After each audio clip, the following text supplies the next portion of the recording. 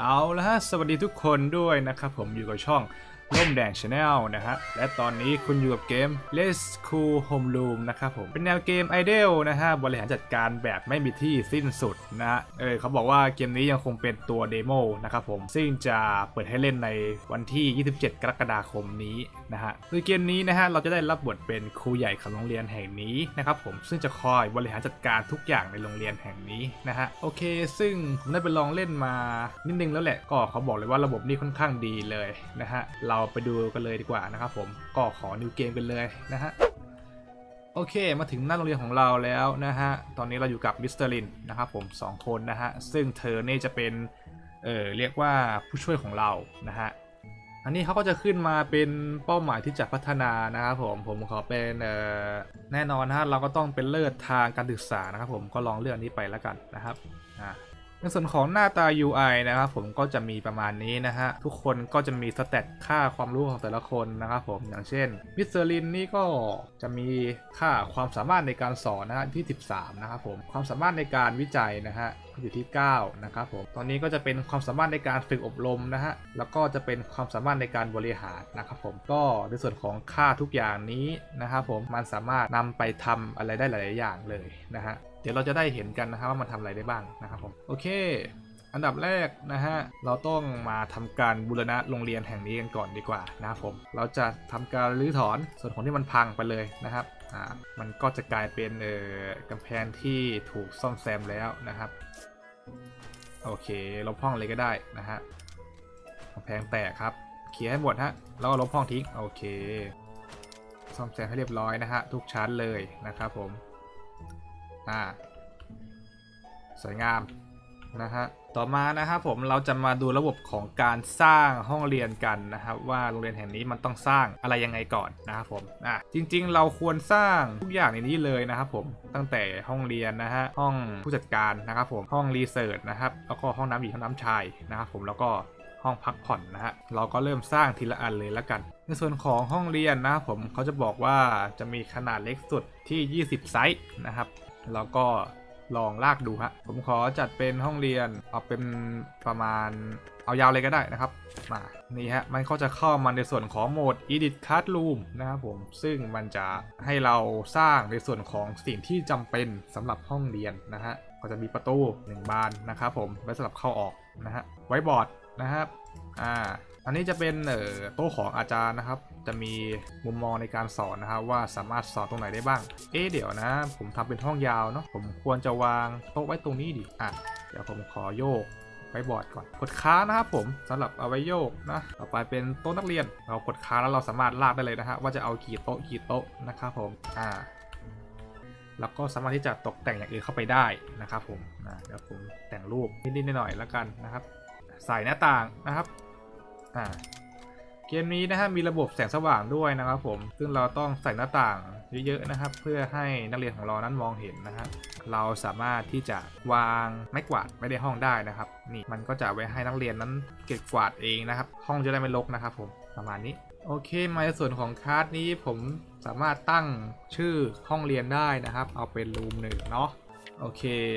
แต่เดี๋ยวก่อนที่เราจะไปรับนักเรียนเข้าโรงเรียนนะครับ ผมขอสร้าง ห้องพวกแบบที่จำเป็นให้เสร็จก่อนละกันนะครับ มันจะมีในส่วนของห้องผู้จัดการนะครับ โอเคสวยๆนะครับผมในส่วนของของตกแต่งนะครับ ผมเราสามารถที่จะทำการวิจัยได้นะครับ มันก็จะมีของมาให้เพิ่มเติมนะฮะเท่านี้ก่อนละกันนะฮะ ตรงนี้ก็จะเป็นเอ่อค่า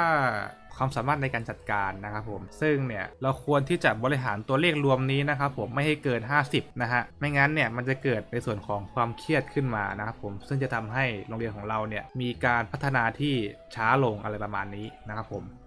ก็ทุกอย่างเนี่ยสามารถ อัพขั้นได้หมดเลยนะครับผมมันก็จะทำให้เราสามารถที่จะมีตัวเลขในการบริหารจัดการเนี่ยที่สูงนะครับผมอะไรประมาณนี้นะครับผมก็ใครมีอะไรเพิ่มเติมก็สามารถที่จะคอมเมนต์แนะนำได้นะในส่วนของตรงนี้นะฮะต่อไปจะเป็นเออในส่วนของห้องพักเบรกนะครับ จริงๆ เราสามารถเอาไว้ในห้องนี้ได้เลยนะ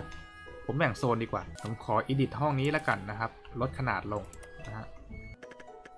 อ่าแล้วก็ไปเพิ่มในส่วนของห้องพักเบรกนะครับ ตรงนี้ อ่า ประมาณนี้แล้วกันนะครับผมโอเค ตอนนี้ทุกอย่างที่จะเป็นของเราก็ครบแล้วนะครับ ไม่ว่าจะเป็นห้องเรียนนะฮะ ตรงนี้นะครับผม ห้องผู้จัดการชั้นบนนะครับ ข้างๆห้องครูใหญ่ของเรานะครับ รวมไปถึงห้องรีเสิร์ชห้องวิจัยนะครับ แล้วก็มีห้องน้ำสองห้องนะฮะ ทั้งชายทั้งหญิงนะครับผม ก็น่าจะเหลือในส่วนของการรับสมัครอาจารย์ผู้สอนเนี่ยเพิ่ม 1 คน นะครับผม1คนพอ1คนนี้สอนวิชาอะไรนะฮะเดี๋ยวเรามาดูกันเข้ามาที่คอร์สนะครับคอร์สเนี่ยก็จะมีวิชาเริ่มต้น เราสามารถเลือกวิชามนุษยศาสตร์นะครับได้นะฮะแล้วก็วิทยาศาสตร์นะครับผมแล้วก็ศิลปะนะครับแล้วก็กีฬานะครับผมเริ่มต้นที่จะมีแค่ 4 วิชานะครับผมวิธีสร้างคอร์สทำยังไงนะฮะก็คลิกเลยครับผมอย่างเงี้ยหรือว่าลากใส่ก็ได้นะครับ อย่างเงี้ยลากใส่แบบนี้นะครับ โดยเริ่มต้นนะฮะมันจะมีมาให้แค่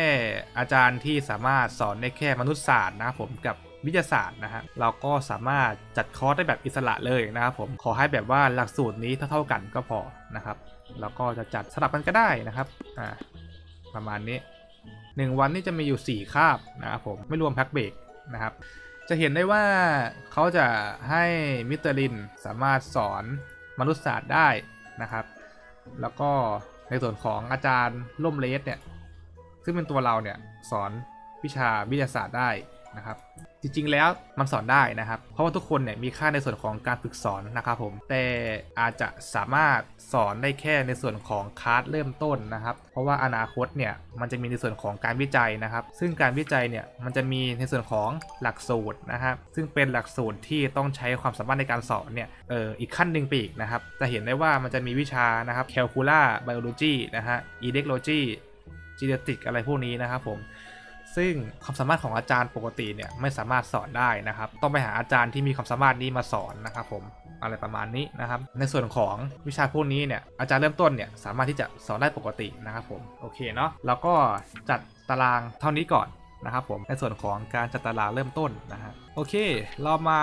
ถึงขั้นตอนสุดท้ายนะครับผมในส่วนของการว่าจ้างนักเรียนให้มาเรียนนะฮะก็กดไปที่นี่เลยครับผมแล้วก็กดตรงนี้ครับ renovate admission office นะครับผม อ่าก็คือจะเป็นการฝากประกาศนะครับผมให้นักเรียนเนี่ยมาสมัครเรียนที่โรงเรียนเรานะครับผมก็จะมีประมาณ 9 คนต่อสัปดาห์อะไรประมาณนี้นะครับผมก็จะมีกองทุนใช้จ่ายแค่ 1,001 เยนนะครับผมก็ confirm ไปเลยนะฮะ Open for admission แล้วนะครับผมตรงนี้กด confirm ไปนะครับอ่า อันนี้ก็จะเป็นนักเรียน 4 คนที่จะมาสมัครนะครับ นักเรียนเนี่ยจะมี stat แต่ละคนที่แตกต่างกันนะครับ อย่างเช่น คนนี้จะมีค่าการเรียนรู้ที่ค่อนข้างต่ำนะครับ ส่วนค่า heat hour นะครับผมก็จะเป็นนักเรียนคนนี้เนี่ยจะค่อนข้างขี้ร้อนอะไรประมาณนี้นะครับผมเราก็รับมาทุกคนเลยก็ได้นะครับผมพอสมัครมาแล้วนะครับ เราต้องมาทำการ assign นักเรียนที่ class member นะครับผมแล้วก็ทำการเลือกทุกคนเลยนะครับ ห้องนี้เนี่ยสามารถอยู่ได้ทั้งหมด 24 คนนะครับเราก็รอเขาประกาศมาเรื่อยๆนะครับผมว่ามีใครมาสมัครนะครับโอเค เราเหลือแค่รับสมัครอาจารย์เพิ่ม 1 คนเนาะตอนนี้ยังไม่มีอาจารย์นะครับผมที่จะมาสมัครโรงเรียนของเรานะฮะต้องรออีกประมาณ 5 ชั่วโมงนะครับผมเพราะฉะนั้นเนี่ยเราจะให้มิตรลินนะครับผมมาช่วยสอนก่อนเราก็กด pay เลยนะครับ โอเค ตอนนี้เราก็มีอาจารย์มาสมัครโรงเรียนของเราแล้วนะครับผมที่จริงเราก็สามารถที่จะรับทุกคนมาทำงานก่อนได้เลยนะครับ จะได้ไม่เป็นปัญหาในเรื่องของการสอนนะครับผมโอเค เราจะให้มิสเตอร์ลินนะฮะมาทำงานส่วนของตรงนี้ก่อนนะครับผมแล้วก็อาจารย์ทั้งสองท่าน คนนี้อาจารย์เคมี มาดูว่าใครเก่ง research กว่ากันนะฮะจริงๆมันก็เท่ากันเลยเนาะก็ให้คนนี้เป็น head ละกันนะครับช่วย research ก็เป็นคนนี้นะครับผม ประมาณนี้ก่อนนะฮะ ตรงตารางสอนเนี่ยเออความสามารถในการสอนเราเนี่ยมันขาดแค่ 4 นะครับผม เราสามารถที่จะ training ได้นะครับผม เห็นไหมฮะ ว่า stat เนี่ยมันจะเพิ่มจาก 13 เป็น 18 นะครับผม เรากด confirm เลย เดี๋ยวการ research นี่เราเข้าไปดูอีกทีแล้วกันนะครับผม นี่ฮะเขาก็จะเรียนไปนะครับตามคาบที่เราตั้งไว้นะฮะ แล้วก็จะมีพักเบรกบ้างอะไรประมาณนี้นะ ผมมีเวลาอาหารเที่ยงนะฮะ ซึ่งอาหารเที่ยงเนี่ยเราต้องทำการ research ด้วยนะครับผม เดี๋ยวค่อยมา research ในส่วนของ part หน้าละกันนะครับผมเอาละครับก็ถึงเวลาอันแก่สมควรแล้วนะฮะสำหรับเกม Let's School Homeroom นะฮะในส่วนของ part แรกของเรานะผมจะเป็นการเออบูรณะโรงเรียนของเรานะฮะให้กลับมาเปิดใช้งานได้นะผมก็จะมีในส่วนของการสร้างห้องเรียน ห้องน้ำห้องพักผ่อน ห้องครูใหญ่ ห้อง research ทุกอย่างที่จำเป็นในการเปิดสอนนะครับผมของโรงเรียนแห่งนี้นะครับผม แล้วก็มีการว่าจ้างคุณครูนะครับให้มาทำหน้าที่ให้ครบในส่วนของทุกแผนกนะครับผม แล้วก็เปิดรับนักเรียนเข้ามาเรียนนะฮะก็จะเห็นได้ว่ามีประมาณ 4 คนนะครับผมในห้องเรียนนะฮะสำหรับเกม Let's School Homeroom นะฮะ ก็ขอจบไว้เพียงเท่านี้ก่อนละกันนะครับ ไว้เราติดตาม part หน้านะผมว่าว่าเราจะมาพัฒนาในส่วนไหนกันต่อนะครับผมก็เราติดตามกันได้เลยนะครับหากคลิปนี้นะครับเป็นประโยชน์ต่อท่านนะฮะ รบกวนช่วยฝากกดไลค์กดแชร์และกด Subscribe ช่องกันด้วยนะครับผม แล้วเจอกันใหม่ในคลิปวิดีโอหน้านะครับสำหรับวันนี้ขอตัวลาไปก่อนนะครับผม สวัสดีครับ